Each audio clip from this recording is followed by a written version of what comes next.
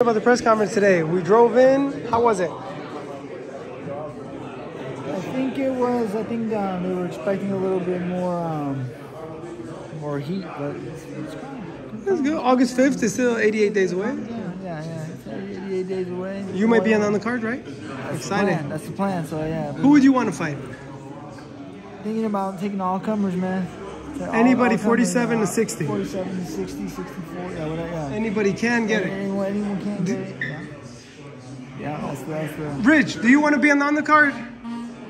No, why not? No, I'm good. I'm retired. Luke, can we put you on the undercard? Uh, yeah, we're in it. We're in it. Uh, we're in it. How about McDermott? I got the heat.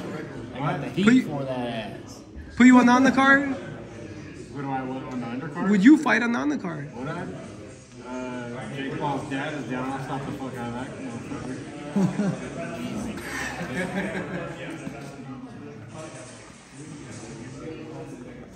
The idea is backstage after the press conference. Going through some highlights here. Family and friends. David, how'd it go today? Good. Rephard.com if people want to buy cool gear. Use uh, promo code reporting. Use the promo code reporting. That part done. No. if people wear it, would it make it a better fighter? Good. It's like like in the like in the what's the word, like Jordans and stuff. To make it run fast. Yeah. It works today. Having Nate doing another interview. Oh, yeah. Working. But it was good today. Good energy. The fight's official now. You saw the venue. What do you think about the venue? It's just badass. There won't be an empty seat in the house come August 5th. What, what would you expect? Fucking Nate sells out. It's exciting. And the face off, they got a little dicey. nah.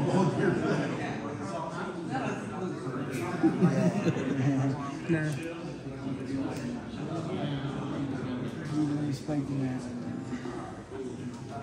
So there you have it. Stay tuned. Tell people where to follow you. Um, uh, Jose Aguayo, 100. Represent LTD. Let me ask you guys. You happen to see the last Canelo fight that he just fought?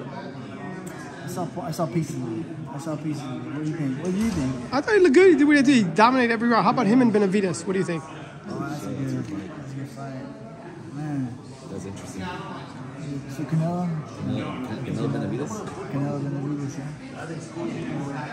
yeah. That's a good one. Uh, what about what do you want to see Tank do next? Shakur. Shakur. Oh, yeah. Yeah. And who do you have winning that? It's a tough one, man. Tank, that's what take Tank, man. That's what take Tank. That's what take Tank. Yeah, take the good. Yeah. What do we have to do? So stay tuned right here behind the scenes. Nate Diaz, baseball press conference day. Tank and Taking Pitbull part two. part two. Yeah, that's a huge one too. That might happen. good is Pitbull? How good is he? That's a great fight. That might happen in the stadium. That's what uh, Calvin, the coach, uh, Calvin Ford, Gervonta's coach, said that might be next. We almost did his tracksuits for uh, Pitbull. Oh, really? Yeah. Remember with uh, what's his name? Carlos or What happened? Diaz guy? Yeah, They just kind of we, we were like super busy. because they're all from TJ. Like, I mean, he's Mexico City, but Munguia's guys. Reporting.